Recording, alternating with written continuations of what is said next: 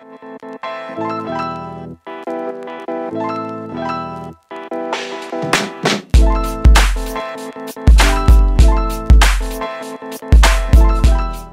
is going on guys, Casual Savage here and in this video I'm going to be showing you how to create a time lapse like Casey Neistat. Now just before I get into this video, if you'd like to request a tutorial then let me know in the comments below or on Twitter. Okay so this is from one of his recent vlogs where he is in Sydney and let's just play through uh, this.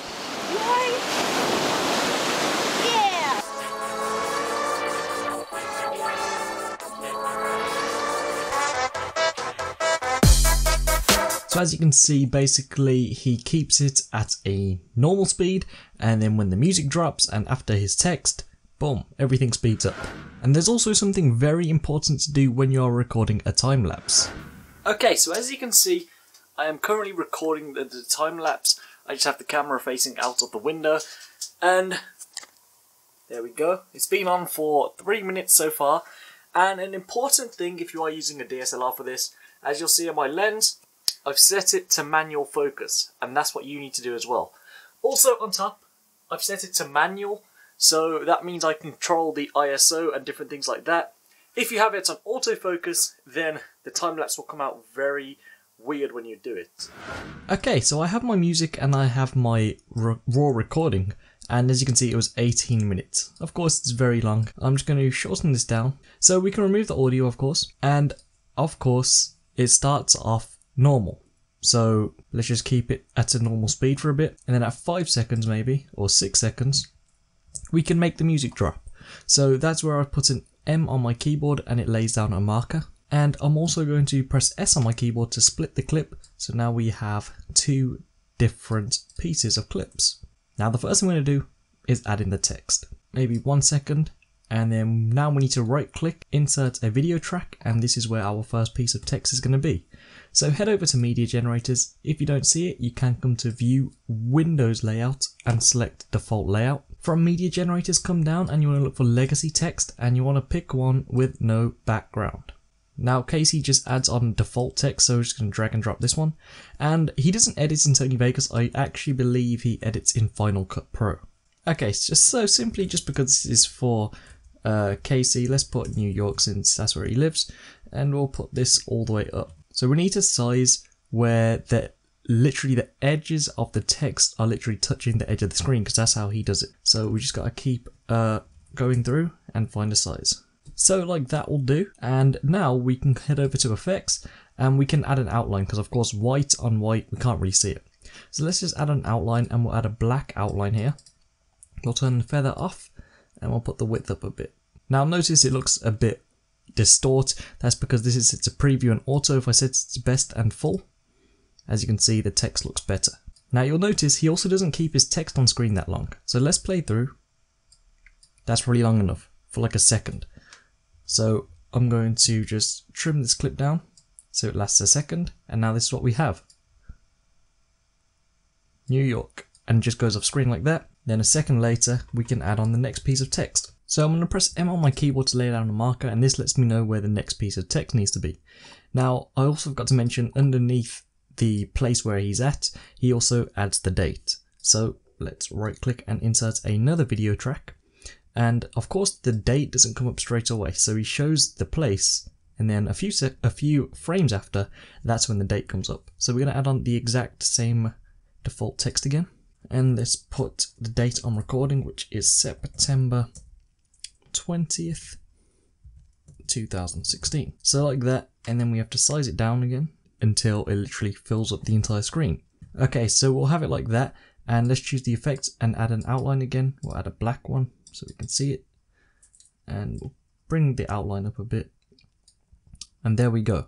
Now we need to size it down so it ends at the exact same time as this text, and we also need to position it. So we can come to the event pan and crop and then just use the arrow keys and position it underneath.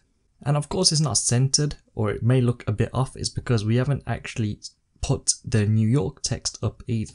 So we'll do that now. So this would probably be about here and we can X out of it and come into the New York text using the event pan and crop. We need to make sure sync cursor is unchecked.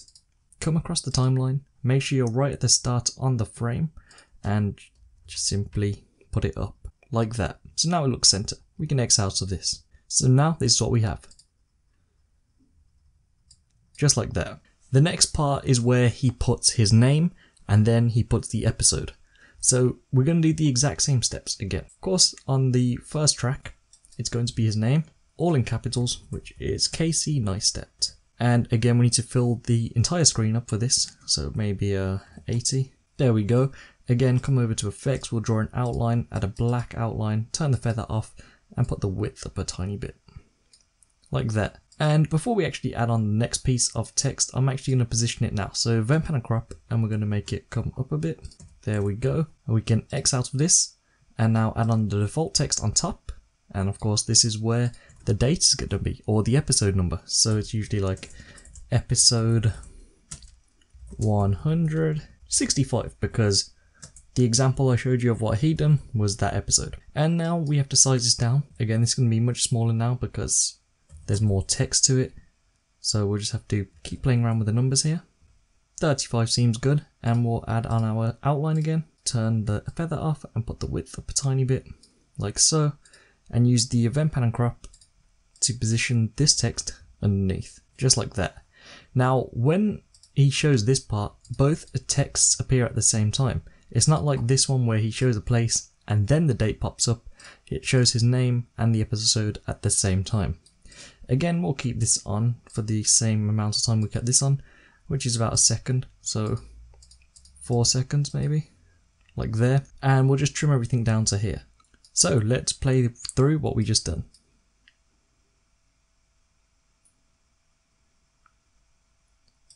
And then this is where the beat's going to drop. So now we get into the actual time lapse. So first of all, we need to come to the end of your clip, hold control and drag it all the way in. This is going to speed it up. So if I just put this to auto, it's moving, but very slowly. The next thing we're going to do to make it faster, we're going to right click, we're going to select insert, remove envelope and select velocity. We're going to drag this bar all the way up. Now I need to turn this down to preview and auto and let's play through.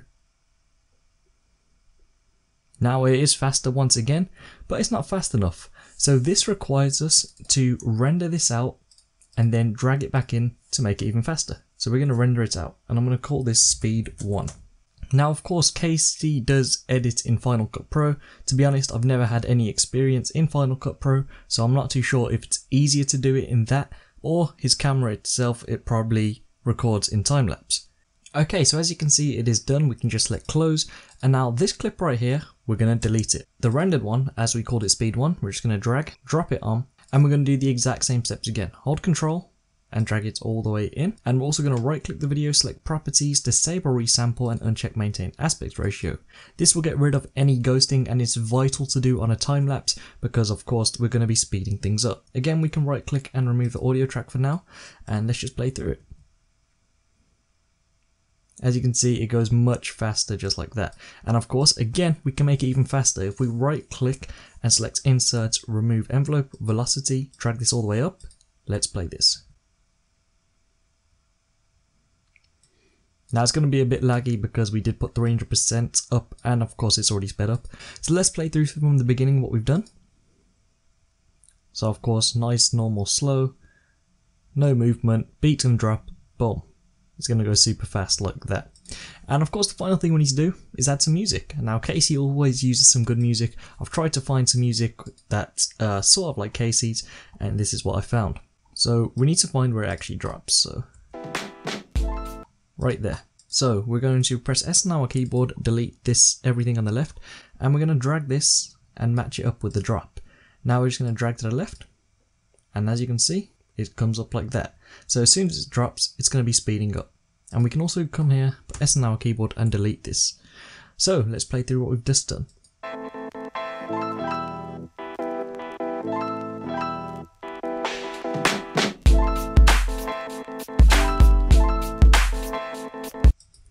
And that is how simple it is to create a time lapse like Casey.